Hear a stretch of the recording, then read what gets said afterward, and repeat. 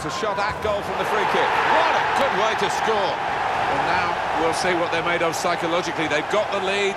Remember, promotion is guaranteed if they hold on to that lead. And uh, I'm sure the opposition have a right go at them and try and prey on any nerves in these closing minutes. Yeah, and you don't want to leave it to a later day to, to achieve promotion. They've got a great chance here, and I think they're going to take it. Well, look at the keeper. You feel sorry for him almost. He had no chance with that one. Well, let's take another look at the goal.